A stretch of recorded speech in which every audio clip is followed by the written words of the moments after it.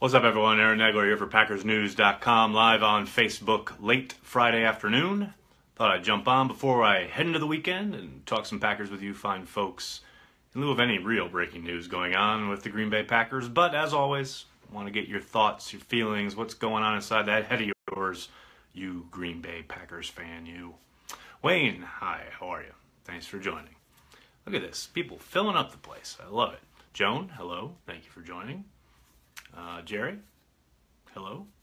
Um, so, you know, with the big trade happened in the NFL today, Marcus Peters, who many of you have asked about uh, throughout the course of the last week or so, uh, is being traded to the Los Angeles Rams. So take that name off your list as far as potential targets. Uh, Pete Dougherty did have him listed on his latest uh, up this morning at PackersNews.com list of five potential targets the Packers could look at to fill the void at corner. You can take Peters off your list. He'll be going to the LA Rams. Uh, the compensation is not yet known, but you have to think, uh, you know, given the fact that reports were that the Chiefs were asking for Robert Quinn at first, uh, the defensive end, but it turns out they'll only be getting draft picks. Sounds like there's quite a few picks headed Kansas City's way for Marcus Peters. Hello from Chicago. What's up, Raj? How are you, man? Is BJ Raji still available? Sean, I should hope so. Um, but you never know. Dale, hello. Thanks for joining. He had issues. Dan, that is correct. Um, the extent of which we'll probably never really know, but you have to think they were significant given the fact that Kansas City was willing to move one of their best young players, if not their best young player. Um, while they still had two years on his deal, well, a year and a fifth year option, um, it's very rare in the NFL that you see a guy that talented with that many years left of controllability, so to speak, contract wise, um, moved out of the team that drafted him. Uh, it suggests that things are not sunny and rosy behind the scenes there in Kansas City and between Kansas City and Peter. Someone's suggesting Malcolm Butler. We've talked about that extensively.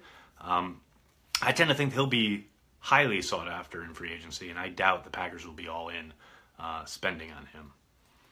Tulsa, Oklahoma. What's up, Keith? How are you, man? Should try to get another tight end though, uh, free agency or the draft. I think they have to go both routes. Uh, it was reported today Trey Burton will be hitting free agency. Uh, the Eagles will not be re-signing him and or putting the franchise tag on him, so he will be a possibility. Uh, there have been a couple other guys who have already been released as cap casualties. Um, be sure you're checking PackersNews.com for all the latest on that. We'll undoubtedly have um, uh, pieces about you know every position and what the Packers should be looking for. Should the Packers shine, sign Josh Sitton? Jose, I don't think that's going to happen. Um, when they cut Sitton, it was mostly because of um, behind the scenes, locker room dynamics, things of that nature. Mike McCarthy's still in town. I don't see Sitton coming back in through that door as long as McCarthy's still the coach. Looking clean. Thanks. Uh, Butler will be wildly overpriced. Lee, I tend to agree. Trade for Martavis. Alex, I've been getting that question a lot today since uh, the word leaked out that the Steelers are open to uh, trading Martavis Bryant. I can't imagine the Packers sending anything significant to the Steelers for a player who is basically one strike away from a year long suspension. Obviously, he's talented, but uh, anyone who makes that trade will most likely be sending a, a somewhat significant pick. Now, maybe it's you know early day three, maybe it's late day two. But I can't imagine the Packers using draft capital to go get a guy who could, you know, is basically one mistake away from being gone for the year. Um, now, maybe if it's a really, really low pick, a sixth or seventh rounder, maybe. But I tend to think with once this kind of thing gets out there, you got to wonder if the Steelers may just be uh, be kind of a precursor to cutting him. They've obviously found their their guy in Juju Smith Schuster. Um, Martavis Bryant is probably not long for Pittsburgh as it is.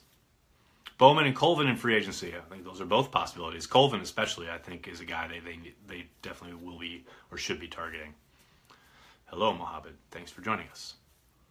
Uh, week one starting tight end guy in house or someone we don't know. Ray, I tend to think it's probably probably someone on the outside, probably someone not on the roster at the moment. But you never know. Maybe they stick with Kendricks as their starter. I tend to think he's much more suited to being a uh, number two tight end, but we'll see how Brian Gutekunst feels about that. Where does Geronimo fit in the wide receiver corps? That'll be interesting to see how the offseason plays out. I think he really didn't take much of a step last year. I know fans seem to really like him, and I, I understand the affinity. He really came on his rookie year. Um, I didn't really see much progression from him his second season. Now that doesn't mean he can't still get better, but I think the Packers probably would have liked to have seen a little bit more from him, and I think they'll definitely be looking to upgrade at that position, uh, either through the draft or through free agency. Though I suspect it'll be through the draft. Any word on Nelson contract restructure? Juan, not yet, but as I said yesterday, I think we'll start to get an idea of what's going on there uh, next week during the combine.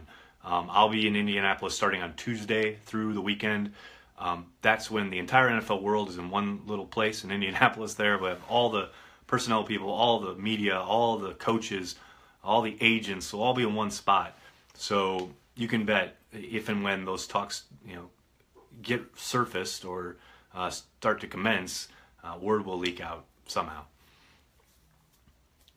Josh Jackson, I think he's a real possibility, Andrew. Uh, we'll see how the board falls there in the first round, but uh, I think you know you could do a lot worse at 14.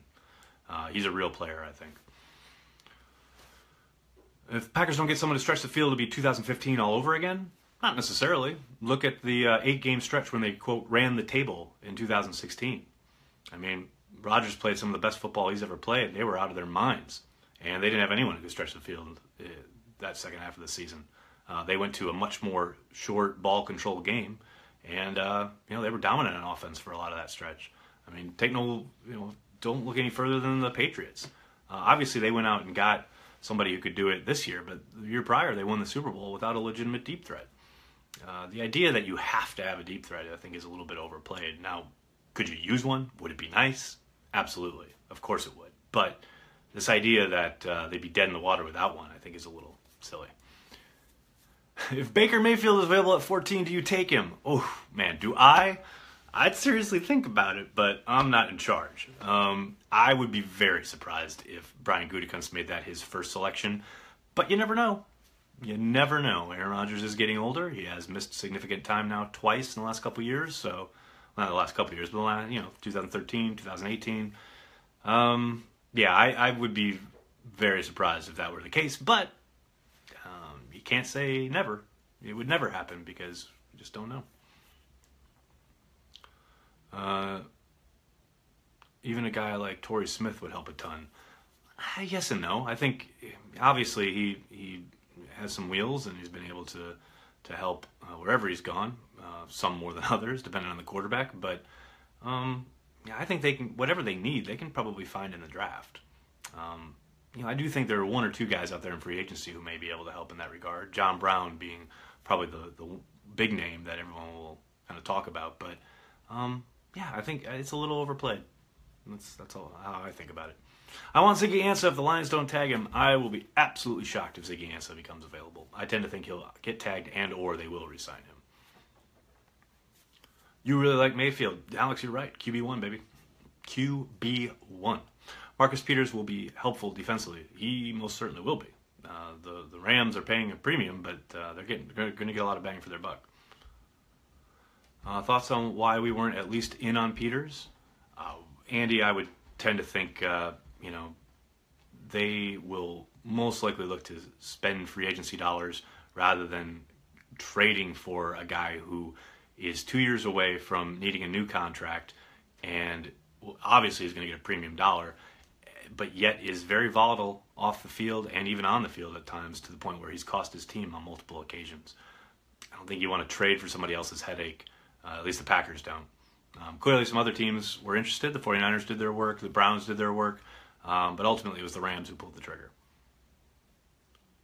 Peters is a stud. Another miss by Green Bay. Can can we let the ink dry on the contract first before we call it a miss? You guys have to label everything so quickly. But we have no idea what it is yet.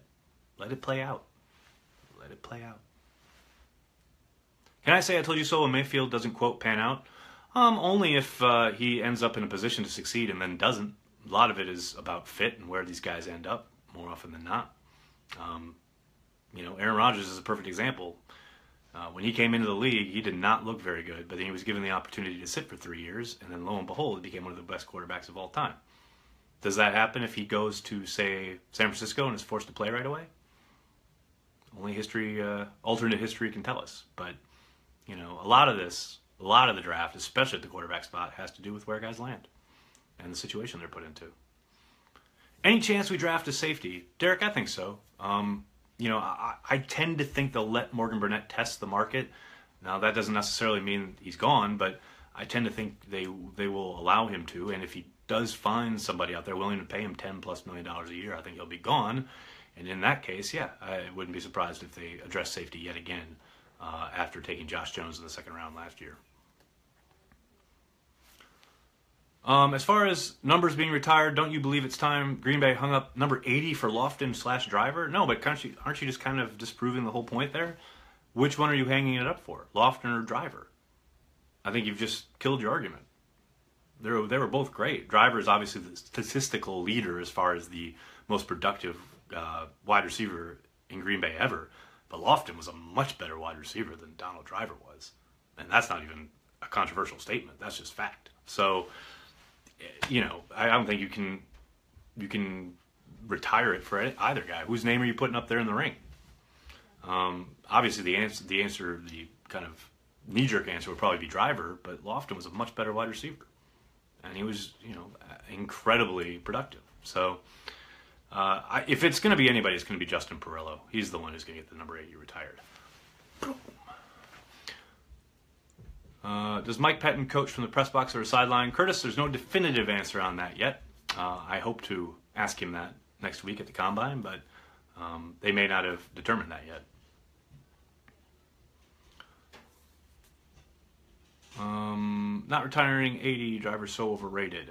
Oh, Ray, I think it's hard to call him overrated, but um, I don't think he's a Pro Football Hall of Famer like James Lofton is. Um, I'd say 84 before both of them. Uh, well, you know, uh, Sterling Sharpe's short tenure in Green Bay makes it hard to make the case for retiring the number. Ahman Green too, I guess. He's an all-time leader in rushing for the pack. Now you guys are getting it. Will jersey numbers ever get into three digits, 100, 101, 102, etc.? One, I tend to doubt it, but you never know. Driver was tough as nails. Yes, he was. Uh, yes, John, I agree. Next up, another must into the Hall of Fame after Jerry Kramer is number 36, Leroy Butler. Could not agree more. Uh, his not being in the Hall of Fame is a gross oversight. Uh, take one or two more here yet. Dennis, Dennis can see into the future. Uh, he not only knows that the Peters, uh, not trading for Peters was a miss. He knows that taking King over Watt was a mistake by the Green Bay Brass, even though it's only one year into their respective tenures. And he hasn't included Vince Biegel, who uh, also has to be contrib- you know, considered in that formula. But he's seen into the future, and he knows it's a miss by Green Bay. I love those. Um, thoughts on new Han Solo movie, Alex? I'm giddy. I can't wait. I know there's a lot of haters out there. I don't care. It's gonna be a ton of fun. Uh, Driver was one of my favorites. Loved watching him and Gilbert Brown for good reason. They were both very good players. Miami will draft Mayfield. Alex, I agree. That's probably where it, where it'll end up. Uh, need to retire number 90 for Raji. Now you guys are talking. And now I've got an XFL question. It's all deteriorating. Uh, I'm going to take off.